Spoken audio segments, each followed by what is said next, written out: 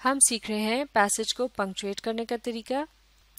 इससे पिछली वीडियो में हम इस पैसेज के पहले दो जुमलों को पंक्चुएट कर चुके थे। अब हम इससे अगले हिस्से को पंक्चुएट करेंगे। ये है तीसरा जुमला, यहाँ से शुरू करते हैं। एक मरतबा फिर इससे पहले दो जुमलों को भी पढ़ लेते हैं ताकि बात क्लियर हो जाए कि किस मुतलक बात हो रही थी। Tinker is one of the most laid back tom cats I know he is fat and fluffy with black and white hair and he always wears a dull looking expression on his face and keeps yawning अब पढ़ते हैं अगला जुमला और देखते हैं इस इसे हमने किस तरह से पंक्चुएट करना है। इसके पहले लेटर को हम पहले ही कैपिटल कर चुके हैं। आगे पढ़ते हैं। His droopy looking eyes are often shut but its clever ears twitch at every strange noise around it अब ऐसा महसूस होता है, ये जुमला यहाँ मुकम्मल हो गया है तो यहाँ हम क्या करेंगे? यहाँ हम लगा देते हैं फुल स्टॉप का निशान और फिर हमने क्या करना है? फॉरन ही बाद इसकी ये किया जाता है कि इससे अगले लफ्ज़ का पहला लेटर जो है उसे कैपिटल कर दिया जाता है। तो इसे हमने कैपिटल कर दिया और अब एक मरतबा फिर इस जुमले को गौर से देखते हैं कि इसमें अगर किसी और पंक्चुएशन के निशान की ज़रूरत हो तो उसे भी लगा देंगे हिज ड्रूपी लुकिंग अब ये ड्रूपी लुकिंग के अल्फाज जो हैं, ये जिस तरह के हमने पहली वीडियो में देखा था लेट बैक के जो अल्फाज थे कॉम्पाउंड नाउन है तो इस तरह से ये ड्रूपी लुकिंग जो है, ये भी कॉम्पाउंड नाउन है। यानी ड्रूपी लुकिंग के अल्फाज जो हैं, ये दो अल्फाज मिलकर एक ही नाउन जो है उसे डिस्क्राइब कर रहे हैं। एक तरह से हम कह सकते हैं, ये दो मिलकर एक कॉम्पाउंड एग्जेक्टिव बनाते हैं या कॉम्पाउंड नाउन बनाते हैं। लिहाजा इनके दरमियान आप क्या लगाएँगे? हाइफन का निशान। तो इस तरह से ड्रूपी और लुकिंग के दरमियान यहाँ पे हमने लगा दिया हाइफन का निशान। और जैसे कि इससे पिछली वीडियो में हमने सीखा था, जहाँ भी लफ्ज इट्स आएगा तो इसे आपने चेक करना है। इसे आपने खोल कर पढ़ना है, जैसे इट इज़ इस तरह से पढ़ना है इट इज़ और चेक करना है कि इसकी सेंस बननी है या नहीं। अगर सेंस ना बन रही हो तो फिर इसे इसी तरह से रहने देंगे, क्योंकि इसका मतलब होगा कि ये पोजेसिव प्रोनाउन है, यानी मलकियत बताने के लिए इस्तेमाल किया किया गया है, जैसे कि इस तरह से कहा जाता है उसका या उसकी। लेकिन अगर इट इज़ की सेंस बन रही हो तो फिर आप क्या करेंगे?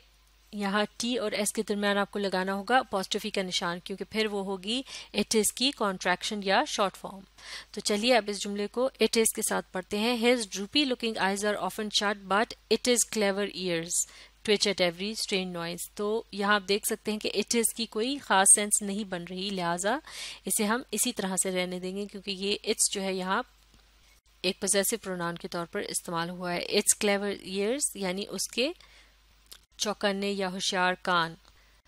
अब यहाँ एक और अहम बात नोट करने की है, वो ये है कि आप देख सकते हैं कि इस जुमले के दरमियान में लफ्ज़ बट का इस्तेमाल किया गया है। यानी सिर्फ़ एक मरतबा इस पूरे जुमले के बिल्कुल दरमियान में इस तरह से ये एक इसे कहते हैं कनेक्टर या फिर कंजंक्शन उसका इस्तेमाल किया गया है।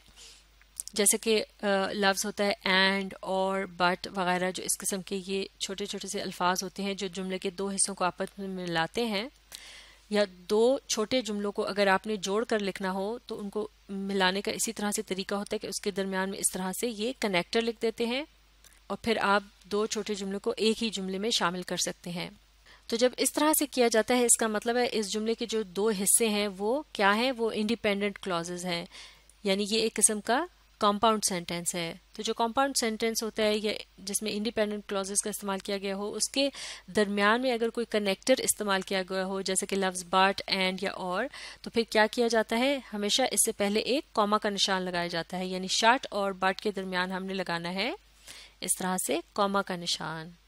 तो अब ये इस जुमले की जो पंक्चुएशन है, ये मुकम्मल हो गई है।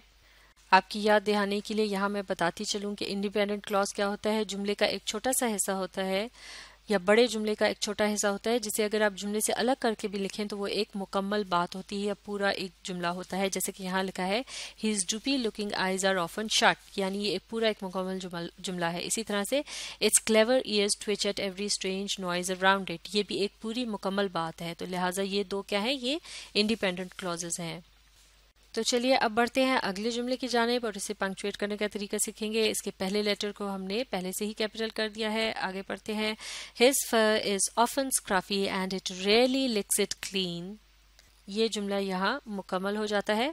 तो यहाँ हमने लगा दिया फुल स्टॉप का निशान।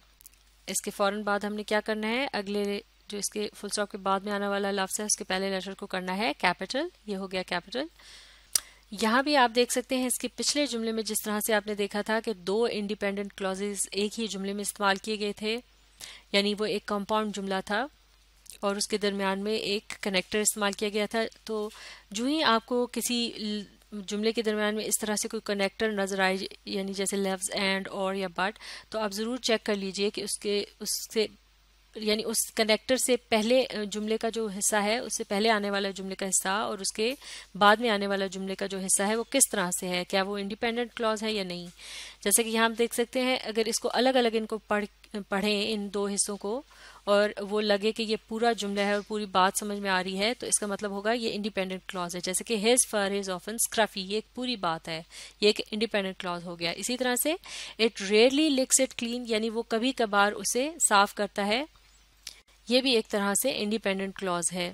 लिहाजा हमने ये उसूल सीखा था कि जब दो इंडिपेंडेंट क्लॉजेज एक जुमले में इस्तेमाल हो रहे हो और उनके दरमियान एंड का लफ्ज़ हो तो उससे पहले आपने क्या लगाना है? लाजमी एक कॉमा लगाना है। अब यहाँ इसको, इसी जुमले को पंक्चुएट करने का एक और तरीका भी है। अगर आप चाहें तो कॉमा और एंड इन दोनों निशानात को ख़त्म करके इसकी जगह आप लगा सकते हैं। सेमी कोलन का निशान।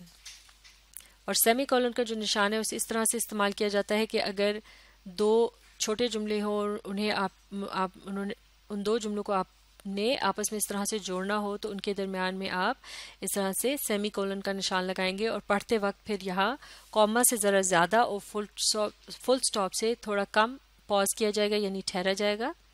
तो इस जुमले को इस तरह से पढ़ सकते हैं। His fur is often scruffy it rarely licks it clean तो लिहाजा इस जुमले की भी पंक्चुएशन यहाँ कंप्लीट हो गई। अगला जुमला देखते हैं। He usually sits near the fireplace and he often seems to be asleep अब ये जो अगला हिस्सा है, इसे दो तरह से पंक्चुएट किया जा सकता है। इससे आगे आ रहा है लव्स हाउ एवर और फिर मजीद ये कहा गया है when the milk is brought in he always gets live and drinks it in no time अगर आप चाहें तो ये एक बहुत ही तफसीली या लंबा सा जुमला हो जाएगा तो इसे आप एक ही जुमले की सूरत में इस तरह लिख सकते हैं। यहाँ आप लगा देंगे फुल स्टॉप इससे बाद में आने वाले लेटर को कर दिया कैपिटल और फिर क्या करना है, ये जो दरमियान में आ रहा है एक लफ्ज इसे कहते हैं ट्रांजिशनल डिवाइस या ये एक तरह से कंजंक्शन होती है दो जुम, जुमले के दो बड़े हिस्सों को आपस में मिलाता है ये और एक किस्म का दो ख्यालात या जुमले के जो दो हिस्से हैं उनके दरमियान एक रब्त या जोड़ पैदा करता है।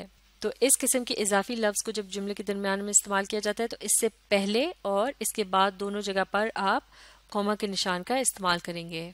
तो इस तरह से ये एक लंबा सा जुमला हो जाएगा। He usually sits near the fireplace and he often seems to be asleep. However, when the milk is brought in, he always gets alive and drinks it in no time. लेकिन, अब इसी जुमले को हम चाहें तो दो हिस्सों में भी, यानी दो अलग जुमलों में भी तोड़ सकते हैं। मिसाल के तौर पर he usually sits in the fireplace माफ़ कीजिएगा he usually sits near the fireplace and he often seems to be asleep अब यहाँ पर हम इस जुमले को मुकम्मल करके यहाँ फुल स्टॉप अगर लगा दें फिर हम क्या करेंगे? हाउ एवर का जो एच है, इससे हमें कैपिटल करना होगा, क्योंकि ये अब नया जुमला शुरू हो रहा है। लेकिन यहाँ भी इसी तरह से हाउ एवर के बाद कॉमा का निशान जो है, ये बाकी रहेगा। तो इस किस्म का जो कनेक्टर या कंजंक्शन या फिर कोई ट्रांजिशनल डिवाइस इस तरह से जुमले के शुरू में अगर इस्तेमाल की जा रही हो या दरमियान में तो उसके बाद माफ़ कीजिएगा, अगर शुरू में इस्तेमाल की जा रही हो तो उसके बाद कॉमा का निशान इस्तेमाल करेंगे और जुमले के दरमियान में इस्तेमाल की जा रही हो तो उससे पहले और बाद दोनों जगह कॉमा का निशान का इस्तेमाल किया जाएगा। तो इस तरह से ये अगला जुमला हो जाएगा। हाउ एवर और जैसे कि कॉमा के निशान की जगह पर थोड़ी देर के लिए रुका जाता है तो इसे इस तरह से पढ़ेंगे। However when the milk is brought in he always gets live and drinks it in no time लेकिन अब इस जुमले को पढ़ते हुए एकदम मुझे यहाँ अचानक एहसास हुआ कि यहाँ भी इस जगह पर ये जो ब्रॉट इन के बाद यहाँ भी थोड़ी देर के लिए रुका गया है इसे पढ़ते हुए। और उसकी वजह यह है कि दरअसल जुमले का ये जो अगला हिस्सा है when the milk is brought in ये क्या है? ये एक डिपेंडेंट क्लॉज है और इसके बाद में आने वाला ये जो हिस्सा है जुमले का, ये इंडिपेंडेंट क्लॉज है। तो जब एक डिपेंडेंट क्लॉज जो है वो किसी इंडिपेंडेंट क्लॉज से पहले आ रहा हो जुमले के अंदर तो इन दोनों के दरमियान भी कॉमा का निशान लगाया जाता है और पढ़ते वक्त इस जगह पॉज किया जाता है। तो इस तरह से इस जुमले को पढ़ेंगे। However when the milk is brought in he always gets alive and drinks it in no time और अब देखते हैं ये किस तरह से जो है ये डिपेंड माफ़ कीजिएगा डिपेंडेंट क्लॉज है। When the milk is brought in अगर इसे अलग करके जुमले से देखा जाए तो इसकी मुकम्मल सेंस नहीं बनती। लिहाजा ये क्या है? ये है डिपेंडेंट क्लॉज डिपेंडेंट क्लॉज की एक और पहचान भी होती है, और वो ये है कि इसके शुरू में अक्सर ये इस तरह से एक कंजंक्शन आता है, जैसे कि लफ्ज व्हेन यहाँ आप देख देख सकते हैं। तो लिहाजा अब ये बात क्लियर हो जाती है कि चूँकि यहाँ एक डिपेंडेंट क्लॉज इंडिपेंडेंट क्लॉज से पहले आ रहा है, लिहाजा यहाँ इसके बाद कॉमा का निशान का इस्तेमाल किया जाएगा और अब ये दूसरे क्लॉज को भी देख सक, देख देख लेते हैं कि किस तरह से ये इंडिपेंडेंट क्लॉज है, इसे पढ़ेंगे और देखेंगे क्या ये सेंस बना रहा है। He always gets live and drinks it in no time जी हाँ ये एक मुकम्मल जुमले की तरह है, लिहाजा ये क्या है? ये है एक इंडिपेंडेंट क्लॉज और चूँकि ये आ रहा था डिपेंडेंट क्लॉज के बाद, लिहाजा इन दोनों के दरमियान हमने कॉमा का निशान लगा दिया। लेकिन अगर ये जुमला इस तरह से होता कि इंडिपेंडेंट क्लॉज जो है वो पहले आ रहा होता और ये जो डिपेंडेंट क्लॉज है वो बाद में आ रहा होता है। जैसे कि he always gets live and drinks it no time when the milk is brought in तो तब इन दोनों के दरमियान कॉमा के निशान की ज़रूरत ना होती। अब यहाँ इससे पहले एक और अहम बात हम सीख चुके हैं कि जब किसी जुमले के दरमियान में इस तरह से कनेक्टर इस्तेमाल किया गया हो एंड बाट या और का लफ्ज़ तो वहाँ भी आपने रुक कर ज़रा देखना है कि इस इस किस्म के जो लफ्ज़ है, इससे पहले और बाद का जो जुमले का हिस्सा है, वो किस तरह से है? क्या वो इंडिपेंडेंट क्लॉज है, जैसे कि ही ऑलवेज गेट्स लाइव और फिर ये दूसरा हिस्सा drinks it in no time तो यहाँ भी ये जो दो हिस्से हैं, ये एक तरह से मजीद कह सकते हैं कि छोटे छोटे डिपेंडेंट माफ़ कीजिएगा इंडिपेंडेंट क्लॉजेज हैं। यानी जुमले का ये हिस्सा जो है, वो एक कॉम्पाउंड नाउन की तरह है। माफ़ कीजिएगा, ये एक कॉम्पाउंड सेंटेंस की तरह है।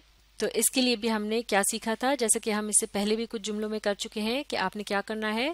कनेक्टर से पहले एक कॉमा का निशान लगाना है। तो यहाँ हमने लगा दिया कॉमा का निशान। इस तरह से अब ये इस जुमले की मुकम्मल पंक्चुएशन जो है वो कंप्लीट हो चुकी है। तो आप यहाँ देख सकते हैं, अगर इस पूरे जुमले का देखा जाए तो इसमें एक डिपेंडेंट क्लॉज और दो इंडिपेंडेंट क्लॉजेज आ रहे हैं और इस किस्म के जुमले को क्या कहा जाता है? कॉम्पाउंड कॉम्प्लेक्स सेंटेंस तो कॉम्पाउंड कॉम्प्लेक्स सेंटेंस की इस तरह से पंक्चुएशन की जाती है। अब चलते हैं आखिरी जुमले की तरफ़। यह है I think he is not as lazy as he appears to be तो यहाँ लगाना है फुल स्टॉप पहले लेटर को हमने इससे पहले ही यहाँ कैपिटल कर दिया था आई को। अब अगर आप गौर करें तो यहाँ लफ्ज है हीज जो कि ही इज़ की कॉन्ट्रैक्शन है। तो कॉन्ट्रैक्शन में क्या लगाया जाता है? इसमें लगाया जाता है अपोस्टफी का निशान। ई e और एस के दरमियान इस तरह से हमने लगा दिया अपोस्टफी और अब हमारे इस पूरे पैसेज की जो पंक्चुएशन है, वो मुकम्मल हो चुकी है। इसमें कहीं भी डायरेक्ट स्पीच का इस्तेमाल नहीं किया गया, लिहाजा हमने पंक्चुएशन के निशानात को नहीं इस्तेमाल किया, कहीं भी नामुकम्मल ख्याल का इस्तेमाल नहीं किया गया, लिहाजा एलिप्सिस को भी इस्तेमाल नहीं किया गया। इसी तरह से इसमें कोई लिस्ट वगैरह नहीं थी तो लिहाजा हमने कोलन्स का भी इस्तेमाल नहीं किया। और यहाँ कोई इजाफी बात वगैरह शामिल नहीं की गई, जिसे पेरेंथेसिस में या इस तरह से राउंड ब्रैकेट में लिखा जाए। या फिर जैसे कि किसी की कोई कही भी बात या स्पीच होती है और उसे एक दूसरा शख्स लिख रहा होता है और उसके दरमियान वो अपनी किसी राय को जब शामिल करता है तो उसे इस तरह से स्क्वेयर ब्रैकेट में लिखता है। तो इस पैसेज में इस तरह की भी कोई बात मौजूद नहीं थी, लिहाजा इस निशान का जो है वो भी इस्तेमाल नहीं हुआ। इसी तरह से इसमें कोई सवाल वगैरह भी नहीं था तो हमने क्वेश्चन मार्क का भी इस्तेमाल नहीं किया।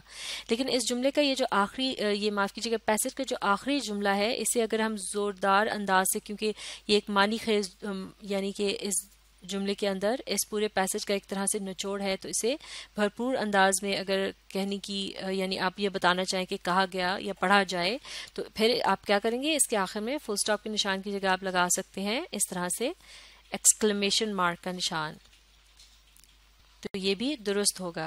यानी पढ़ते वक्त आप इसे इस तरह से पढ़ेंगे I think he is not as lazy as he appears to be यानी आप ज़ोर देकर इसे फिर पढ़ेंगे।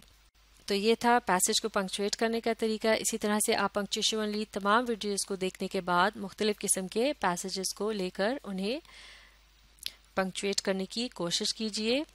इस तरह आप पंक्चुएशन में महारत हासिल कर सकते हैं।